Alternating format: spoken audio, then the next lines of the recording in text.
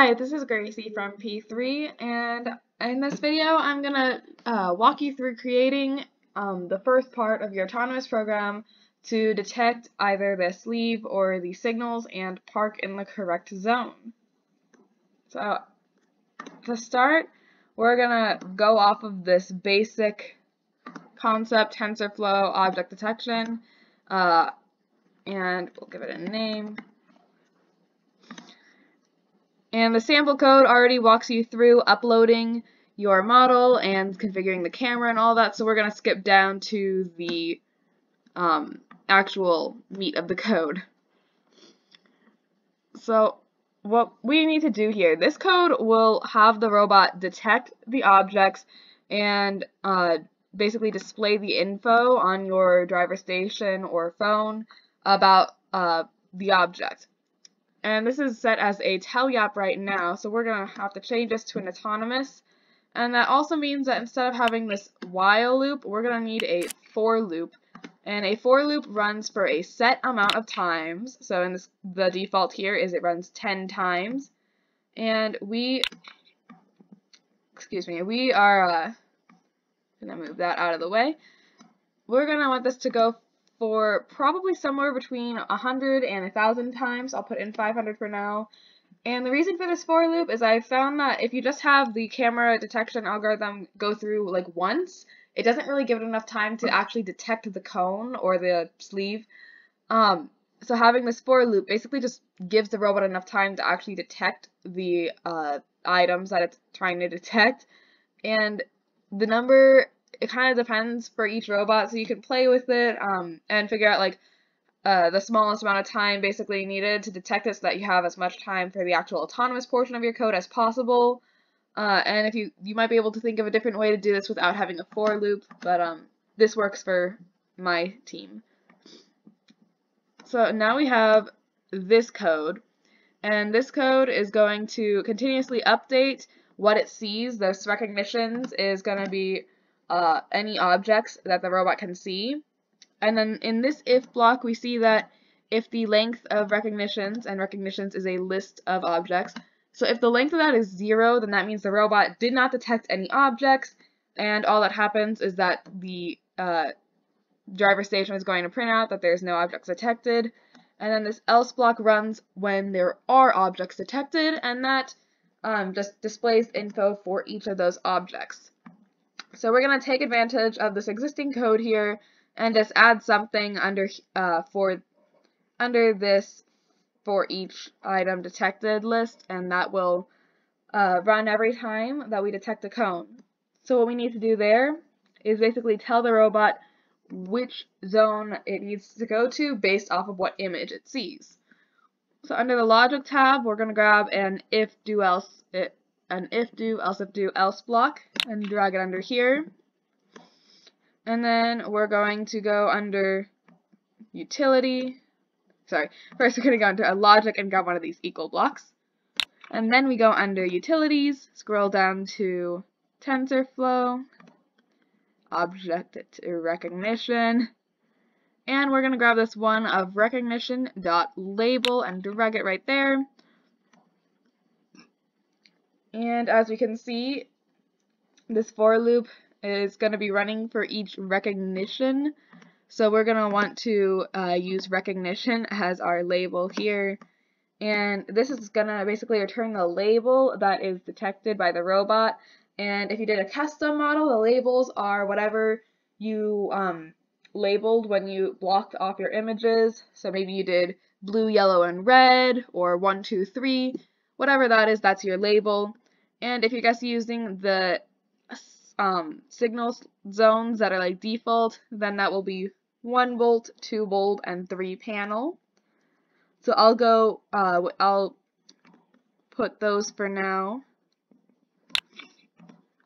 So 1 bolt. And you can copy and paste that and drag it under the else if. And we'll change that to 2 bulb. And it's very important that these are exactly as it appears in the label. If there's if there's a space, if there's a lowercase letter that can uh, mess it up and then your program won't actually detect it. Uh, and what this is doing is it's telling the robot um, we're going to be translating the label into a zone number that the robot that can then use to park. So we're going to have to create a variable, and I'll call it zone to keep it simple. And we're going to drag this zone under there, grab a math block to be a number,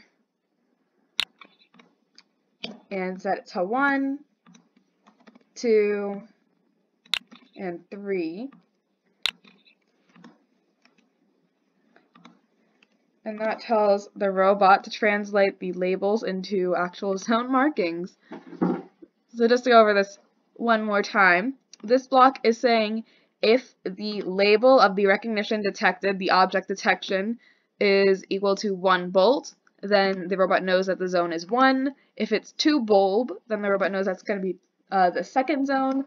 And this else, uh, we don't need one of, we don't need an else if because by process of elimination, we know that if it's not 1 bolt or 2 bulb, it must be 3 panel, and that zone will be 3. And the final thing we need to do with the zone before uh, moving past the object detection part of the program is we need to give zone a default value since as you can see we only ever set currently we only ever set zone to be equal to a number after uh, going through the if and else blocks of detecting an item. So we need the zone to still be equal to a number even if the robot never detects an item because if we call on zone later in the program and zone was never uh, initialized, then that's going to put an error in the program and we don't want that.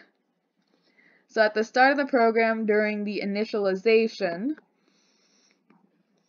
right before the wait for start, ooh, not bad, we're going to set zone to be equal to 1, 2, or 3. You can pick whatever. I'll put 3 for now. Um, and this basically means that if the robot never detects anything, then it'll uh, default to the third zone. So now that we have our zone set up to be 1, 2, and 3, we can actually program the robot to move to the zone after detecting it. So we're going to need another if else if else block. And we'll drag it under here because as you can see, oops, sorry, we're dragging it under the green block here because that's our for loop. And once we're done with the for loop, we'll, we're done with actually detecting the ob objects and we can move on to the rest of our program. Alright. So we're going to have to go back under logic and grab an equals and then grab your zone variable from the variables folder and a math block. Alright. So now we can tell the robot if zone equals 1. I'll just add a comment in for now. Move to zone 1. You can copy and paste zone equals 2. Then you can move to zone 2, and if the it's not equal to 1 or 2, it must be equal to 3, and we'll move to zone 3. Alright, so here is where you're actually going to be programming the robot to move to the zone that you want to park in. Uh, obviously, I can't give you sample code for that as every robot is different. Um, but that could be very simple. For instance, uh, if you don't have encoders, you can even just use it with setting the robot to a setting the motors to a power, sleeping uh, for a second or two, and then setting the powers to zero, and the robot will move forward or or to the side or any way that you want.